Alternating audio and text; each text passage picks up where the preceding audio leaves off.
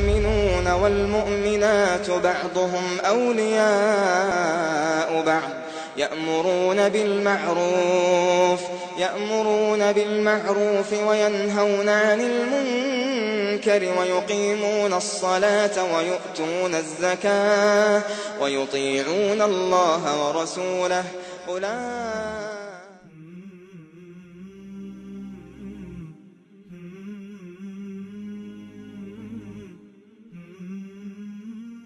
بسم الله الرحمن الرحيم জি আসসালামু আলাইকুম রেজাউল করিম ভাই মালয়েশিয়া থেকে প্রশ্ন করেছেন প্রশ্ন অত্যন্ত বড় আহলুল হাদিস এবং হানাফি মাজহাবের মধ্যে পার্থক্য কি এবং আহলুল হাদিসকে অনেক মাজহাবি ভাইরা হানাফি ভাইরা নতুন দল ফেতনাবাজ ইত্যাদি বলে আখ্যায়িত করে এটুকু কতটুকু সহি সঠিক আসুন সম্মানিত রেজাউল করিম ভাই, অনেক বিস্তারিত আলোচনার দরকার এই বিষয়টিতে। তো সম্ভব নয় এতটুকু, সংক্ষেপে আমি কিছু কথা বলব। আহলুল হাদিস নতুন একটি দল নয়, বরং এটি হচ্ছে আল্লাহ রসুল সাল্লাহ আলিহি সালাতামের পরের যুগ থেকে সাহাবাই ক্রামের দল থেকে চলে আসতেছেন। আল্লাহ রসুল সাল্লাহ আলী সাল্লাম বলেছেন, বানি ইসরাইলেরা তাফার রাকাত ইসনাইন ও সাবঈনা ফেরকাতান। মানে ইসরায়েলেরা বাহাত্তর দলে বিভক্ত হয়েছিল। আমার উম্মতেরা তেহাত্তর দলে বিভক্ত হবে। কল্লহুম ফিন্নার। সকলে জাহান নামে যাবেন। ইল্লা মিল্লাতুন ওয়াহিদা। একটি দল মাত্র মুক্তি প্রাপ্ত মুক্তি পাবে। আল্লাহ রসুলকে জিজ্ঞাসা করা হলো ফামাহিয়া সেই দলটি কে ইয়া রসুল আল্লাহ আল্লাহ রসুল বললেন, মা আনা আলাইহি ও আসহাবি।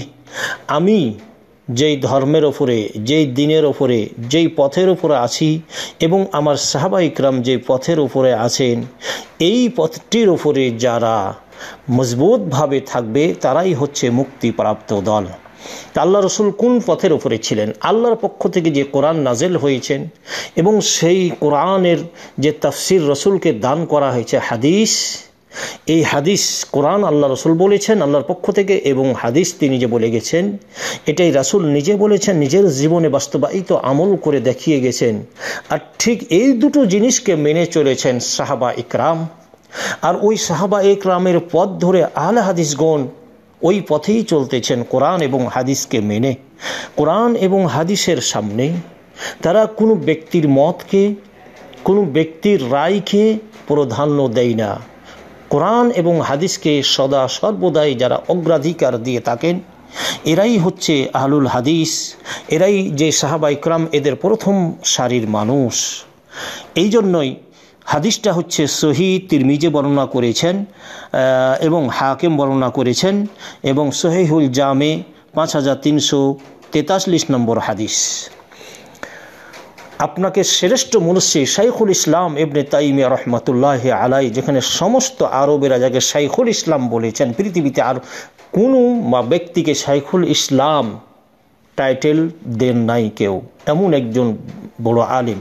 শাইখুল ইসলাম এবনে তাইম রহমতুল্লাহ আলীকে সারা পৃথিবীর মানুষ চিনেন। তিনি বলতেছেন, দেখেন, আহলুল হাদিস হুম আল ফেরকাতুন্নাজিয়া আহলে হাদিসেরাই হচ্ছে মুক্তিপ্রাপ্ত দল। ফামাল্লাম ইয়ানজু বে ইত্তেবা ইল হাদিসে ফাবিমা ইয়ানজু। হাদিসের অনুসরণ করে যদি তারা মুক্তিপ্রাপ্ত দল না হয়, তাহলে কিসের ইত্তেবা করে? কোন কোন কিসের অনুসরণ করে মুক্তিপ্রাপ্ত হবে মানুষ। আহলুল হাদিস হাদিস মান্যকারী দল। তাহলে যারা কোরআন এবং হাদিস মানে কোরআনও কিন্তু হাদিস। আল্লাহ রব্বুল আলমিন বলেছেন ওয়াল্লাহুল্লাহ আহসান আল হাদিস। আল্লাহ শ্রেষ্ঠ হাদিস নাজিল করেছেন মানে কোরআন নাজিল করেছেন। কোরআন ও হাদিস আর নবীর কথাও যেগুলি হাদিস ও হাদিস। হাদিস মানে সন্ন্যাহ রসুল সাল্লামের হাদিস যেগুলি, সেগুলি হচ্ছে সন্ন্যাহ সন্ন্যাহ কোনোদিন হাদিস ছাড়া প্রমাণিত হয় না। কাজে সন্ন্যাহ আহলুস সন্ন্যাহ অথবা আহলুল হাদিস একই জিনিস। সম্মানিত ভাইরা আমার, তাহলে ইমাম ইবনে তাইম রহমতুল্লাহ আলাই বলছেন, যারা আহলুল হাদিস তারাই হাদিস, কোরআন এবং হাদিসের অনুসরণ করেন। আর কোরআন, হাদিসের অনুসরণ করে তারা যদি মুক্তিপ্রাপ্ত দল না হয়, তাহলে কিসের অনুসরণ করে? আর মুক্তি পাবেন? তাই তিনি বলছেন নাজিয়া। কাজে পৃথিবীতে যত দল মত আছে, সকল দল মতের চাইতে অগ্রাধিকার অধিক। মুক্তিপ্রাপ্ত দল হওয়ার জন্য হচ্ছে আহলুল হাদিস। বা আহলুল হাদিস আহলুসন্না আরও তিনি বলেন, আহলুল হাদিসেরাই হচ্ছে আহলুসন্না আল্লাদিন লাইসা লাহুম মতবুউন ইয়াতাআসাবুনা লাহু ইল্লা রাসূলুল্লাহ সাল্লাম এই আহলুল হাদিসদের কোনো মোত্তাবা নাই, কোনো ব্যক্তি পূজা নাই, কোনো ব্যক্তির অনুসরণ তারা করে না, যার জন্য তারা পক্ষপাতিত্ব করবে, শুধুমাত্র তাদের অনুসরণীয় ব্যক্তিত্ব হচ্ছে বিশ্বনবী বিশ্ব নেতা রহমতুল্লিল আলমিন মোহাম্মদ রসুল্লাহ সাল্লাহ সাল্লাম। তারা প্রতিটি কথায় এবং কাজে এত আসাবুনা তারা রসুলের জন্যই পক্ষপাতিত্ব করে। প্রতিটি কথাকে, রাসুলের কথাকেই তারা একমাত্র অগ্রাধিকার দিয়ে থাকে। তারাই হচ্ছে আহলুল হাদিস, এরাই হচ্ছে আহলুসন্না এরাই হচ্ছে মুক্তিপ্রাপ্ত দল। দেখুন মাজমুয়া ফতোয়া ইবনে তাইমিয়া রহমতুল্লাহ আলাই তিন নম্বর খণ্ড, তিনশো সাতচল্লিশ নম্বর ফিরিস্টায় এ কথাটা তিনি বলেছেন। চারু ইমামের মধ্যে ইমাম আহলুসন্না ওয়াল জামা, ইমাম আহমদ বিল হাম্বাল রহিমাহুল্লাহ সব থেকে যিনি হাদিস বেশি জানতেন, তিনি বলছেন, হুম আত্মাইফাতুল মনসুরা আহলুল হাদিসই হচ্ছে সাহায্যপ্রাপ্ত দল। ইল্লাম ইয়াকুন হুম আসহাবুল হাদিস, ফামা আদরি মান হুম এই মুক্তিপ্রাপ্ত বা সাহায্যপ্রাপ্ত দল যদি আহলুল হাদিসগণ না হয়, তাহলে আমি জানি না আর কারা হবে। আর কোন দলটি হবে মুক্তিপ্রাপ্ত দল? যারা কথাই কাজে সর্বদিক দিয়ে নবীর সহি হাদিসকে অগ্রাধিকার দিয়ে থাকেন। আসহাবুল হাদিস তারাই আহলুল হাদিস, আর তারাই হচ্ছে মুক্তিপ্রাপ্ত বা সাহায্যপ্রাপ্ত দল। ফতহুল বাড়ি প্রথম খণ্ড পঁচাশি নম্বর পৃষ্ঠায় উল্লেখ করেছেন। এরপরে আহলুল হাদিস হুম আসালাফ মিনাল করুন সালাসা। সম্মানিত ভাইরামার আহলুল হাদিস তো করুন সালাসা। আল্লাহ রসুল যেটা বলেছেন যে খৈরুল করুনে করনি সুম্মাল্লাদিন এলুনহম সুম্মাল্লাদিন এলুহম সর্বশ্রেষ্ঠ মানুষ হচ্ছে তারাই যারা আমাদের আমার সাথে আছে, আমার সাহাবাইকরাম তারপরের তাবে আইন তারপরে তাবে তাবে গুণ। আহলুল হাদিস তো এই করুন সালাসা এই তিনশো আপনার কি বলে করুনি সালাসা মানে সাহাবা ইকরাম তাবেইন এবং তাবে তাবে গুণ তারাই তো আহলুল হাদিস ছিলেন। কোরআন এবং হাদিস মেনে চললেন, চলতেন। ওয়ামান সালাকা সাবিলাহুম মিনাল খালাফ, এবং পরবর্তী যারা তাদের উত্তরসারী, সাহাবা ইকরাম তাবেইন তাবেইন তাদের যারা অনুসরণ করে চলে এরাই হচ্ছে আহলুল হাদিস মাজমুয়া ফতুয়া, ছয় নম্বর খণ্ড, তিনশো পাঁচপান্ন নম্বর পৃষ্ঠায় স্পষ্টভাবে শেখুল ইসলাম ইবনে তাইমা রহমতুল্লাহ আলাই বলেছেন যে আহলুল হাদিসের তারাই হচ্ছে করুন সালাসাহ অর্থাৎ রসুল হাদিস সর্বশ্রেষ্ঠ মানুষ সাহাবা ইকরাম, তারপরে তাবে ইনগুন তার পরে তাবে ইনগুন এরাই হচ্ছে আহলুল হাদিস। আর পরবর্তীরা যারা তাদের অনুসরণ করে চলবেন, তারাই হচ্ছে আহলুল হাদিস। তাহলে আহলুল হাদিস গুণ শুধুমাত্র নবী করিম সাল্লা সাল্লাম সাহাবা ইকরাম, তাবে তাবে গুণ যেই পথের উপরে ছিলেন, তখন কোনো কি ইমাম ছিল? কোনো ব্যক্তি ছিল কারি তারা অনুসরণ করতেন? কখনোই না, কখনোই নাই তারা রসুল সাল্লাহ আলী সাল্লামের এবং সাল্লা সাল্লামের অনুসরণ করে চলতেন। সাহাবা ইকরাম আর ঠিক আল্লাহ রসুল এবং সাহাবা ইকরাম যে পথে চলেছেন, সেই পথে চলুন তাবে তাবে এনগুন তাবে তাবে এনগুন আল্লাহ হাদিসগুন তাদেরই অনুসারী তাদের উত্তরস্বরী তাদের পথ ধরে পথ চলে থাকেন।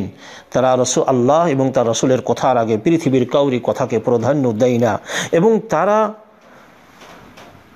আপনার কি বলে, পক্ষপাতিত্ব কাউরি জন্য করে না। একমাত্র আল্লাহ এবং তার রাসুলের জন্যই করে। আর যে ব্যক্তিরা অন্য একজনকে ইমাম হিসাবে মেনে নিয়েছেন, তারা তো তাদের ইমামের জন্য পক্ষপাতিত্ব করেন। একটা বিবেকে বলে, জ্ঞান ব্যক্তি যদি চিন্তা করে বলেন, তাহলে আপনি চিন্তা করতে পারবেন, বুঝতে পারবেন যে তারা তো ইমামের জন্য পক্ষপাতিত্ব করবে।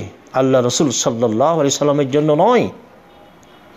এরপরে, তফসির ইবনে কাসির আল্লামা ইবনে কাসির রহমতুল্লাহ আলাই দেখেন, সাতশো এক হিজড়ির মানুষ, কত আগের মানুষ, তিনি বলতেছেন, কোরআনের বানী ইসরাইলের একাত্তর নম্বর আয়াতে আল্লাহ রব্বুল আলমিন বলেছেন ইমামিহিম যেই দিন প্রত্যেককে, প্রত্যেক মানুষকে তাদের ইমাম, ইমামের নাম ধরে ডাকানো হবে। সেই দিন তাদের কি অবস্থা হবে? ইবনে কাসির রহমতুল্লাহ আলাই বলতেছেন, দেখেন, যে কলা বাজু সালাফ, সালাফে সালেহীন, সাহাবা ইকরাম, তাবে তাবেইনের গুণের মধ্যে কেউ কেউ এই কথা বলছেন হাজা আকবর ও সরফুনলে আসহাবিল হাদিস। আহলা হাদিসদের এটা সর্বশ্রেষ্ঠ মর্যাদা, শ্রেষ্ঠ মর্যাদা। কেন? লে আন্না ইমাম হুম আর নবী সাল্লা সাল্লাম। কারণ তাদের ইমামই হচ্ছে নবী করিম সাল্লাহ আলী সাল্লাম। পৃথিবীর যে ইমামেরা আছে, সব ইমামকে ধরে ডাকা হবে। কিন্তু আহলুল হকদের ইমাম একর মোহাম্মদ রসুল্লাহ সাল্লাহ আলী সালাম কাজী এটা কত বড় মর্যাদা আহলুল হাদিসদের। তফসির ইবনে কাসির হ্যাঁ? আপনি কি বলেন? তিনি তো সাতশো এক হেজরের মানুষ। তখন তিনি এই কথাটা বলে গেছেন, তাহলে চিন্তা করুন। আলো হাদিস কারা? তাহলে আলো কীভাবে নতুন হলো? সাতশো এক হিজড়িতে এই কথা বলে গেছেন। আর মহাদ্দেশনে ইকরাম সকলেই আহলুল হাদিস ছিলেন। আর ওই মহাদ্দেশনে ইকরামের পথকে যারা অনুসরণ করে চলবেন, তারাও আহলুল হাদিস।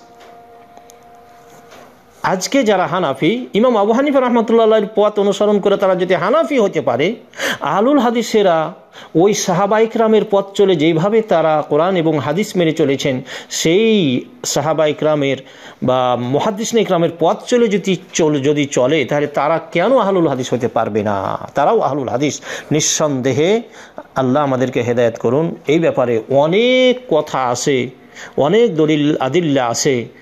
আহলুল হাদিস তারাই আল্লাহ এবং তার রাসুলের সবচাইতে অগ্রাধিকার দেন এবং সবচাইতে বেশি মোহাব্বত করেন এবং সকল ইমামকে একই রকম মোহাব্বত করেন। আহলুল হাদিসের ইমাম ইমাম আবু হানিফা রহমতুল্লাহ আলাহ ইমাম মালিক, ইমাম শাফি ইমাম আহমদ বিন হাম্বাল রহমতুল্লাহ আলাহ ইবনে তাইম রহমতুল্লাহ, ইবনে কাইম যত ইমাম আছে প্রত্যেকে আহলি আহল হাদিসগণ শ্রদ্ধা করেন। সবাই হচ্ছে আহলুল হাদিসদের ইমাম। যেটা যখন কোরআন হাদিস মোতাবেক হয়, দলিল অনুযায়ী সবগুলি কথাকে একত্রিত করে দলিল অনুযায়ী যারটা বেশি মজবুত সেটাকে গ্রহণ করা হয়।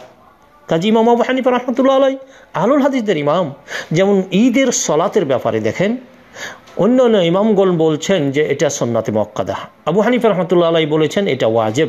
আহলুল হাদিসগণ ঈদের নমাজকে ওয়াজেব বলেই জানেন। এইখানে দলিলের ভিত্তিতে ইমাম আবু হানিফ রহমতুল্লাহ আলাইয়ের কথাটি মজবুত মনে হচ্ছে আহল হাদিসগণ, তাই মানে। তাহলে কোনো ক্ষেত্রে দেখাচ্ছে ইমাম শাফির কথা মজবুত? কোরআন, হাদিস অনুযায়ী সেটা মানা হয়। অর্থাৎ আহলুল হাদিসগণ হচ্ছে আত্মানাক্কল বাইনাল মাজাহিবিল আরবা চারু মাঝহাব এবং আরও বাইরে আরও যত মাঝহাব আছে, সমস্ত কথাগুলিকে নকল করে কোরআন হাদিসের ভিত্তিতে যারটা সঠিক প্রমাণিত হয়েছে, সেটাকে অগ্রাধিকার দিয়ে থাকেন। কাজী চায়ের ইমাম ছাড়া আরও যত ইমাম আছে আলোল হাদিসগণ সকল ইমামকে একই রকমভাবে মেনে চলেন। আর যারা একজন ব্যক্তিকে মানে তারা হচ্ছে ও তার পূজারি। তার কথাকে মানেন না। যারা হানাফি বলে, তারা হানাফি নয়। যারা সাফি বলেন, তারা সাফি নয়।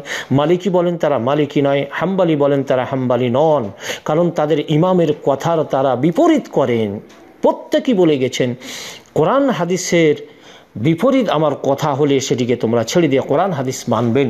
আর সবাই ছিলেন আহলুল হাদিস, চারু ইমাম আহলুল হাদিস, সমস্ত ইমাম আহলুল হাদিস ছিলেন। মুকাল্লেদ হয়েছে চার শত বছর পরে। এরাই তো ফেরকা জাদিদা, নতুন ফেরকা তারাই। ফেরকা ফেতনাবাজ হচ্ছে তারাই। কোরআন হাদিস বললে যারাকে ফেতনাবাজ বলা হয়, এটা পথভ্রষ্ট লোকদের কথা।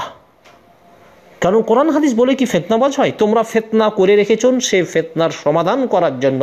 কোরআন এবং হাদিস নিয়ে আসতেছে আলুল হাদিসগণ তাহলে তারা কীভাবে ফেতনাবাজ হলো? বরং তোমরা ফেতনাবাজ চাইরু দলে বিভক্ত করেছ আরও অনেক দল আশারি আরও কত দল তোমরা শত দলে বিভক্ত হয়ে পড়েছো। ইসলামটাকে আলুল হাদিসগণ সকলকে সঠিক আকিদা কোরআন এবং সন্ন্যার উপরে নিয়ে আসতে চাচ্ছেন। কাজী তারাই হচ্ছে হকপন্থী, তারাই হচ্ছে মুক্তিপ্রাপ্ত দল। আল্লাহ পাক আমাদের সকলকে সঠিক জ্ঞান বোঝাতে অফিক দান করেন। আসসালামু আলাইকুম রহমতুল্লাহ বারাকাতহ।